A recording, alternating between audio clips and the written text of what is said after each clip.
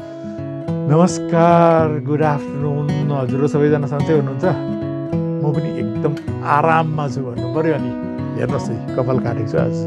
चिटिक्क पारेर क्या? बुढोलाई पारेर काटेको छु अलिक गरम भयो त। त्यसले गर्दाखेरि कपाल काट्दा अलिक शीतल पनि हुँदोरहेछ नि त। कस्तो देख्दैछ? दामी देख्दैछ? जे भए पनि अब शनिबार आयो त गयो है। रिटायर नहुँदा त शनिबार कम्ती ढिलो आउँदैन थियो। अहिले त ब्याट ब्याट आउँछ के हो के हो? के भएर आएको आएको बिचमा बाह्रहरू हराउँदैछ कि जस्तो लाग्दैछ। त्यस्तो र जे होस् है तपाईँहरूलाई यो मेरो शनिबारे गनगनमा फेरि स्वागत गर्न चाहन्छु है। मैले गनगनमा गर्दै आएको गनगन चाहिँ के थियो भन्दाखेरि विशेष गरी सिक्किमको प्रि स्कुल एजुकेसन अथवा प्रि प्राइमेरी एजुकेसनको जुन इतिहास छ त्यो अथवा क्रम विकास छ कसरी हुँदै आयो भन्ने विषयमा मैले अस्तिसम्ममा एक दुई भागसम्म मैले सकिसकेको छु होइन? यो अब तेस्रो भाग तपाईँहरूको समक्षमा छोटो भिडियोद्वारा राख्ने विचार गर्दैछु। यो सबैभन्दा छोटो भिडियो हुन्छ। किनभनेदेखि यो भिडियोमा चाहिँ म चाहिँ अस्ति मैले के अरे करिकुलम टेक्स्ट बुक एन्ड पेरागोजीमा भन्नुपर्ने लेखेको जुन कुरा थिएँ त्यो च्याप्टरमा त्यो लेखेको च्याप्टरमा चाहिँ मैले यो भनेको रहेनछु त। यो कुरा चाहिँ मैले यसमा जोडिनछु र त्यो चाहिँ मैले छोडेको रहेछु। र त्यो छोडेको कुरा चाहिँ आज यहाँ तपाईँहरूको समक्षमा भनिराखेर यो भिडियोलाई म यो थर्ड पार्टलाई यहीँ टुङ्ग्याउँछु र आज अलिकति बेला निकै बितिगएकोले गर्दा इभिनिङ वक पनि जानु छ।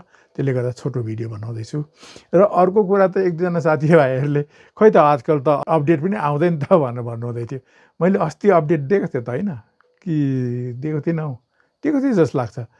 अहिलेसम्ममा लेख्दै आएर के लेख्दैछु यहाँ चाहिँ सिक्किममा शैक्षिक प्रशासनको विकासक्रम कसरी भयो त अथवा डेभलपमेन्ट कसरी भयो त भन्ने कुरा अथवा educational administration in Sikkim evolution of educational administration in Sikkim चाहिँ कसरी भयो भन्ने कुरा चाहिँ मेरो यो लेख्दै आएको कुरा हो र यो लेख्दै आएको कुरामा चाहिँ अहिले चाहिँ आएर म नाइन्टिन एट्टी सिक्सको एनइपीसम्म आइसकेको छु र अहिले पुगेको छ फोर्टी टू पेजेस किनभने यता बिबिचमा पनि कतिवटा छोडिएको कुराहरू के अरे भित्र लाउँदै गर्दाखेरि ढिलो भइरहेछ। अर्को कुरा के पनि भयो भन्दाखेरि चाहिँ यो शैक्षिक प्रशासन अथवा एजुकेसनल एडमिनिस्ट्रेसनको विशेष इन्फर्मेसनहरू खोज्दै जाँदाखेरि रेफरेन्सहरू प पल्टाउँदै जाँदाखेरि अगाडिको च्याप्टरमा लेखिनुपर्ने इन्फर्मेसनहरू पनि पाएँ। त्यसो हुनाले गर्दाखेरि एट अ टाइम तिन चारवटा विन्डो खोलेर तिन चारवटा च्याप्टरहरू खोलेर तिनीहरूलाई पनि अपडेट गर्दै आउँदाखेरि अलिकति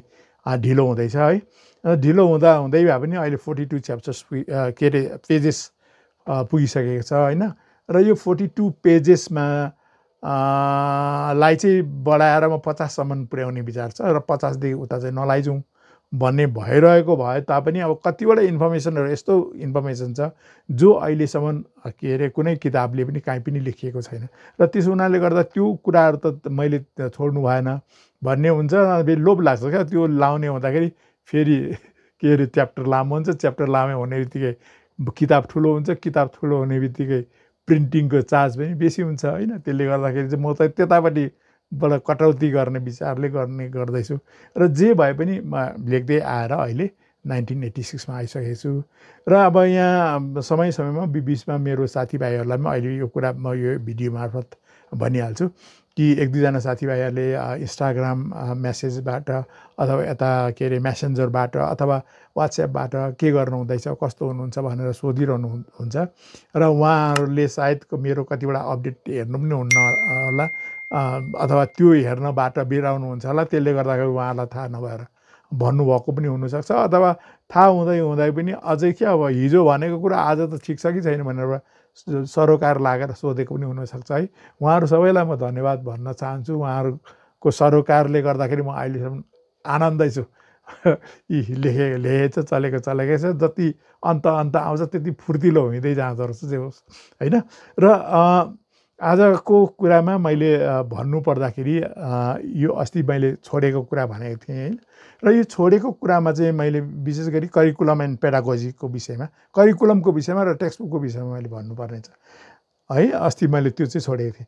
तपाईँहरूलाई मैले अस्ति भनेको थिएँ कि हाम्रो स्कुलमा चाहिँ अथवा हाम्रो गभर्मेन्ट अथवा गभर्मेन्ट एडेड स्कुलमा चाहिँ उहिलेदेखि प्रि प्राइमेरी क्लास अथवा प्रि स्कुल एजुकेसन चाहिँ एट्याच भएर आएकै थियो। होइन? आएकै थियो अनि आउँदै गर्दाखेरि त्यसलाई विभिन्न नामले पुकारिँदै थियो। कसैले भुइँ क्लास भनेर भनिन्थ्यो भन्थे भनेदेखि कसैले ढुङ्गे क्लास भनेर भन्थ्यो। तर उन्नाइस सौ पैँसठी सालमा नाइन्टिन सिक्सटी फाइभमा आएर चाहिँ मोन्टेसरी सिस्टम अफ एजुकेसनलाई लागू गर्ने Monte Montessori system of pre pre एजुकेसनलाई लागू गर्ने हिसाबले चाहिँ त्यसको प्रिपरेसनको लागि चाहिँ अब एक दुई दिन चाहिँ नपठाउला नानीहरू भनेर चाहिँ नाइन्टिन सिक्सटी फाइभ फाइभमा चाहिँ यो प्रि स्कुल अथवा प्रि प्राइमेरी एजुकेसन चाहिँ हाम्रो गभर्मेन्ट अथवा गभर्मेन्ट एडेड स्कुलहरूबाट मा चाहिँ स्टप गरिएको थियो। भन्नु मतलब अरू के अरे कम्युनिटी रन स्कुलमा अथवा मिसनरी स्कुलमा त फेरि चलिरहेको थियो यो। तर गभर्मेन्ट एडेड र गभर्मेन्ट स्कुलमा चाहिँ डिस्कन्टिन्यू भएको थियो नाइन्टिन सिक्सटी फाइभमा। यो मैले अस्ति कुरा भनेको थिएँ। तर यो डिस्कन्टिन्यू भए तापनि तपाईँहरूलाई थाहा छ कि छैन nineteen sixty सेभेनमा text book and curriculum committee भनेर एउटा कमिटी बनिएको थियो। र त्यो कमिटीको चेयरम्यान चाहिँ ग्याल्मो होप कुक हुनुहुन्थ्यो। र यो कमिटीले त्यतिखेर विभिन्न तरिकाले इन्फर्मेसनहरू खोज्ने काम पनि गरे तर इमिडिएट केही गरिहाल्नुपर्छ भनेर चाहिँ एउटा एजुकेसनिस्टको ग्रुप बनाएर त्यतिखेर कलकत्तामा पठाएको थियो नाइन्टिन सिक्सटी सेभेनमा। कलकत्ता पठाएर जति पनि प्राइमेरी क्लासमा चाहिने अथवा प्राइमेरीको लागि टेक्स्ट बुकको लागि अनि टेक्स्ट बुक बाहेक सप्लिमेन्ट्री रिडरको लागि पनि किताबहरू चाहिँ छानेर ल्याओ भनेर पठाएको थियो एक ग्रुपलाई र त्यसरी उहाँहरूले छानेर हिउँदोमा चाहिँ ल्याइपुर्याएको थियो। जतिखेर स्कुल बन्द थियो त्यतिखेर ल्याइपुर्याएको थियो र त्यतिखेर ल्याएर चाहिँ त्यो किताबहरूलाई चाहिँ छुट्यायो भने थियो क्या टेक्स्ट बुक लाइककोलाई एक ग्रुप एक एक ठाक अनि टेक्स्ट बुकदेखि बाहेक सप्लिमेन्ट्री रिडर बनाउन मिल्नेलाई चाहिँ एक थाक बनाएर राखेर त्यहाँदेखि त्यो टेक्स्ट बुकहरूलाई फेरि सेग्रिगेट गरेको थियो ग्रेड स्पेसिफिक प्रकारले सब्जेक्ट स्पेसिफिक प्रकारले छुट्याएको थियो र त्यसरी छुट्याइसकेर यता फेरि यो सप्लिमेन्ट्री रिडिङ मेटेरियललाई पनि ग्रेड स्पेसिफिक र सब्जेक्ट स्पेसिफिक त्यतिखेर भनेको थियो यसलाई चाहिँ त्यो त्यो किताबहरू जुन सप्लिमेन्ट्री रिडिङ मेटेरियल थियो त्यो चाहिँ क्लासरुम लाइ लाइब्रेरी भनेर बनाएर राख्ने।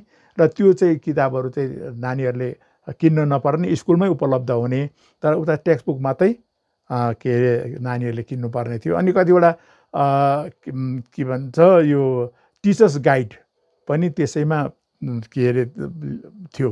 त्यही थाकमा लाइएको थियो र त्यसलाई पनि क्लास क्लास छुट्याएर सब्जेक्ट सब्जेक्ट छुट्याउने काम हिउँदो छुट्टीमा चाहिँ गरेको थियो। नाइन्टिन सिक्सटी सेभेनको एकाडेमिक सेसनको हिउँदो छुट्टीमा चाहिँ गरेको थियो। र जब नाइन्टिन सिक्सटी एटको एकाडेमिक सेसन सुरु हुने बेलामा चाहिँ सिक्किमको त्यो त्यो जुन committee text book and curriculum committee थियो नि उनीहरूले एकदम टेक्स्ट बुकको लिस्ट चाहिँ रेडी बनाएर त्योलाई चाहिँ सिक्किम हेराल्डमा स्याटरडे शनिबारको तिन तारिक फेब्रुअरी नाइन्टिन सिक्सटी एटको सिक्किम हेराल्डमा चाहिँ त्यो बुक लिस्टलाई छापेको थियो। र त्यो त्यसको टपिक चाहिँ के राखेको थियो भन्दाखेरि new text book prescribe for schools in Sikkim for nineteen sixty eight session भनेर चाहिँ त्यो त्यो के अरे त्यो न्युजको टपिक छ नि त्यो न्युजको टपिक चाहिँ त्यसरी राखेको थियो। र त्यसमा चाहिँ प्रि प्राइमेरीको लागि अथवा प्रि स्कुलको लागि पनि टेक्स्ट बुक अथवा सप्लिमेन्ट्री रिडिङ मेटेरियल त्योहरू सबै छुट्याएको थियो र त्यो पनि त्यो लिस्टमा गाभिएको थियो। हुन त अब त्यतिखेर अब के अरे बकाइदा सिक्सटी फाइभमा बन्द भएपछि पछाडि मेन्ट मोन्टेसरी पनि खोलिएन स्कुलमा लागु पनि लागु पनि भएको थिएन प्रि प्राइमेरी तर त्यो कमिटीले भनेदेखि चाहिँ यसरी प्रेसक्राइब गरेको थियो। र त्यो प्रेसक्राइब गरेकोमा चाहिँ जम्मा चारवटा उयो बनाएको थियो उनीहरूले। फर्स्ट ल्याङ्ग्वेज सेकेन्ड ल्याङ्ग्वेज त्यहाँदेखि एरिथमेटिक र ड्रइङ एन्ड गार्डनिङ भनेर त्यस्तो चारवटा सब्जेक्टहरू छुट्याएको थियो र त्यो अनुसारले नै किताबहरू छुट्याएको थियो। यहाँ म तपाईँहरूलाई देखाउँछु ल यहीँ यहीँ कम्प्युटरमै यहाँ हेर्नुहोस् ल क्लासको नाम दिएको छ इन्फेन्ट यहाँ देख्नुहुँदैछ र फर्स्ट कलममा हेर्नुहोस् त यहाँ चारवटा सब्जेक्ट भनेको छ र first language second language arithmetic अनि ड्रइङ एन्ड क्राफ्ट भनेको छ। अनि फर्स्ट ल्याङ्ग्वेजमा चाहिँ अप्सनल हो यो फर्स्ट ल्याङ्ग्वेज चाहिँ। तिनवटा छ र तिनवटामा एउटा छान्नुपर्छ र एउटा मात्रै पढ्नुपर्ने हुन्छ। र त्यो एउटामा चाहिँ फर्स्टमा चाहिँ छ टिबेटन फर्स्ट प्राइमर भन्ने र चाहिँ टिबेटन ल्याङ्ग्वेजको र यो चाहिँ डाइरेक्टरेट अफ एजुकेसन गान्तोकले नै प्रोभाइड गर्नुपर्ने। त्यहाँदेखि लेप्चाको छ लेप्चा फर्स्ट प्राइमर भन्ने। यो चाहिँ मोतान्ची रोङ सेजुम भन्ने दार्जिलिङबाट प्रोभाइड हुँदो रहेछ। अनि त्यहाँबाट किन्नुपर्ने होला। त्यहाँदेखि नेपालीको छ नेपाली साउ अक्षर भन्ने। यो चाहिँ पिएम प्रधान र आरपी प्रधानद्वारा लेखिएको म्याकमिरन प्रकाशनको रहेछ र त्यहाँबाट लिनुपर्ने रहेछ। यसबाट एउटा छान्नु पऱ्यो त्यहाँदेखि सेकेन्ड ल्याङ्ग्वेज छ इङ्ग्लिस र यो इङ्ग्लिस चाहिँ कम्पलसरी र इङ्ग्लिसमा पनि तिन चारवटा सेक्सन छुट्याएको छ। फर्स्टमा छ ल्याङ्ग्वेज ड्रिल्स भन्ने छ। र यो ल्याङ्ग्वेज ड्रिल्समा चाहिँ learn and act book one by Mary Baker Orient लङमेन्सको रहेछ यो किताब चाहिँ। त्यहाँदेखि रिडिङको लागि छ this is the way I go भन्ने। यो चाहिँ छवटा रिडर्सहरू रहेछ यसमा चाहिँ। A set of six readers भनेको छ। यो चाहिँ जेनी टेलर र टेरी इङ्लिवे बाट लेखिएको रहेछ। र यो चाहिँ ओरियन ल्याङ लङमेन्सकै रहेछ यो पनि।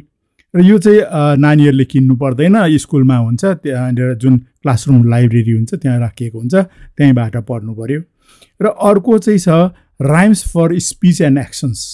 र नानीहरूको के अरे बोली फड्कालिनुको लागि एक्सन सङको लागि चाहिँ राइम्सहरू रहेछ। र यो चाहिँ बुक वान रहेछ बाई एजे डोरोथीको लङमेन्सबाट नै रहेछ। यो पनि नानीहरूले किन्नु परेन टिचरको युजको लागि एउटा हुन्छ। प्रत्येक स्कुलमा एक एकवटा दिएको हुन्छ। त्यहाँदेखि राइटिङको लागि हेर्नुहोस्। राइटिङमा चाहिँ दुईवटा पार्ट छ। एउटा छ इङ्ग्लिस वर्कबुक भन्ने यो चाहिँ फर्स्ट इन्ट्रोडक्ट्री रहेछ र यो चाहिँ रोनाल्ड रिडवेटको रहेछ र अक्सफोर्ड युनिभर्सिटी प्रेसबाट छापिएको रहेछ र अर्को चाहिँ अक्सफोर्ड कपी बुक वान भन्ने छ। यो चाहिँ यो पनि अक्सफोर्ड युनिभर्सिटी प्रेसकै रहेछ। र अब एर्थमेटिक आयो। एर्थमेटिकमा चाहिँ एलिमेन्ट्री स्कुल एर्थमेटिक भन्ने रहेछ। यो चाहिँ book one part one by E Mendoza Cambridge publishing house New दिल्लीबाट रहेछ यो चाहिँ। त्यहाँदेखि अन्तमा रहेछ ड्रइङ एन्ड क्राफ्ट यसको लागि चाहिँ किताब छैन। र यो चाहिँ भयो online a outline drawings of objects animals birds fruits भयो। अदर कमन अब्जेक्ट्सको नक्सा बनाउनु पर्ने अनि त्यसलाई क्रेयनले रङ दल्नुपर्ने रहेछ। है त्यस्तो रहेछ। र गार्डनिङ र क्राफ्टको लागि चाहिँ नानीहरूलाई प्रि प्राइमेरीमा नै गार्डनिङ र क्राफ्ट चाहिँ इन्ट्रोड्युस गर्नुपर्छ भनेको छ। अनि अर्को कुरा चाहिँ नानीले चाहिँ कमन ट्रिज फ्रुट्स फ्लावर्सहरू चाहिँ त्यतिखेरदेखि नै चिन्न थालोस् अरे प्रि प्राइमेरीदेखि नै भनेर भनेको रहेछ। र यस्तो प्रकारले चाहिँ किताबहरू त्यतिखेर त्यो नाइन्टिन सिक्सटी एटमा प्रेसक्राइब गरेर पब्लिस भएको थियो। देख्नु यस्तो प्रकारले छुट्याएको थियो। र यो छुट्याएको कुरा चाहिँ पछाडि आएर त्यतिखेर तपाईँलाई यो कुरा पनि तपाईँलाई थाहा भयो कि त्यो यो क्लासलाई चाहिँ भुइँ क्लास पनि भनेन अथवा ढुङ्गे क्लास पनि भनेन इन्फेन्ट भनेर इन्फेन्ट क्लास भनेर राखेको थियो। र यो इन्फेन्ट क्लास चाहिँ त्यतिखेरदेखि सुरु भएको। म नाइन्टिन सेभेन्टी टूमा जब स्कुल लागेँ त्यतिखेर चाहिँ इन्फेन्ट क्लास नै भन्थ्यो। र त्यो तर त्यस्तो किताबहरू त पढे जस्तो लाग्दैन। तरै भए पनि त्यस त्यो त्यो प्रकारले प्रेसक्रिप्सन भएको चाहिँ यसरी थियो होइन? र यो प्रकारले सिक्किममा के अरे अरू पनि थियो। क्लास वान टू थ्री फोरसम्मको किताब को बुक लिस्ट चाहिँ त्यहाँनिर छापिएको थियो। त्यो त मैले यहाँनिर करिकुलम टेक्स्ट बुक एन्ड पेरागोजीको च्याप्टरमा हालेको छु है। यो चाहिँ अहिले तपाईँहरूलाई भनिराखेको र मैले त्यतिखेर चाहिँ यो कुरालाई चाहिँ मैले भन्न बिर्सेको थिएँ अस्ति मैले लाउन बिर्सेको थिएँ र यो चाहिँ दोहोऱ्याएर तपाईँहरूले त्योभित्र त्यो समयभित्र चाहिँ यो कुरा पनि भएको थियो भन्ने कुरा चाहिँ तपाईँहरूले बुझिदिनु होला भनेर म आग्रह गर्छु। र अब पछिल्लो समयमा म तपाईँहरूलाई भन्छु प्रि प्राइमेरी एजुकेसनको सिक्किमको सन्दर्भमा प्रि प्राइमेरी एजुकेसनको कालो दिनहरू कसरी आयो है? कसरी बिस्तारी बिस्तारी प्रि प्राइमेरी एजुकेसनलाई के अरे नजरअन्दाज गरिँदै गयो भन्ने कुरा पछाडिको एपिसोडमा म भन्दै जानेछु।